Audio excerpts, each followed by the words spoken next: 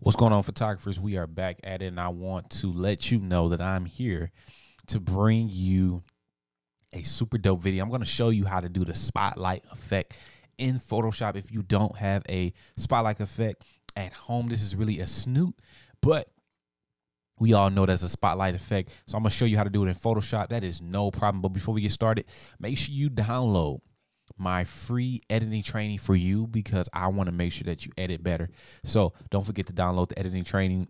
It's in the description. Also, you download the editing training, download the retouching actions as well. That is very important for you to have to be able to retouch faster, better, and smarter. So let's hop straight into it. I have a picture. This is a picture I want to use. Now, the snoot effect is, of course, a circle. So to be in a circle, the first thing you want to do is first of all, always duplicate your layer, whatever layer you're on.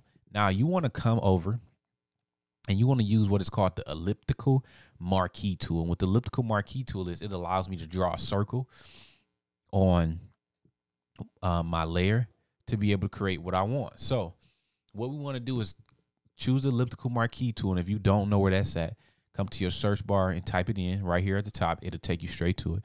Choose your elliptical marquee tool, and what you want to do is make a circle that is big as you want it to be. So I want my circle to just tap the leg just a little bit all around the head. So let's see how bad, how smooth I can do that. And we can drag, you always drag your circle around. That looks pretty good to me.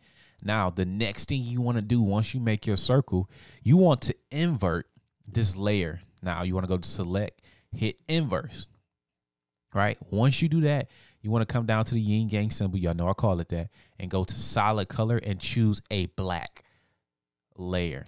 Right? Choose a black layer. Now, of course, this does not look correct. So what we want to do is one, we want to lower the opacity of this. So I'm going to lower my opacity just until you can kind of see the legs just a little bit to where, of course, with spotlight, it's only focused on a certain part of the body.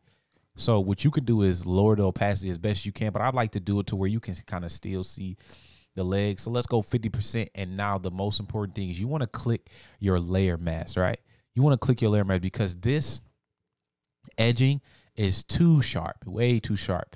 You know, it looks kind of fake now, what you want to do is go to filter, blur, Gaussian blur. Right? And look at that. That's money. You can play around with how blurry you want it to be, of course.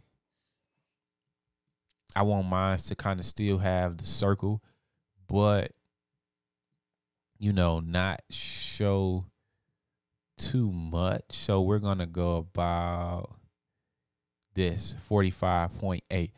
Now, once you do that, you are all done. So remember, what you want to do is make a duplicate layer, right?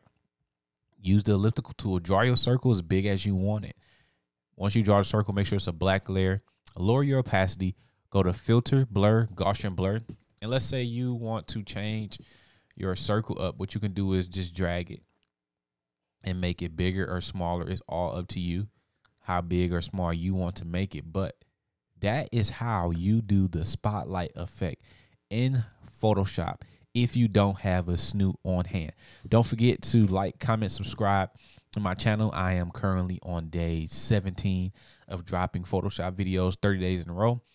And I've been feeling very discouraged because I am not seeing no fruit yet.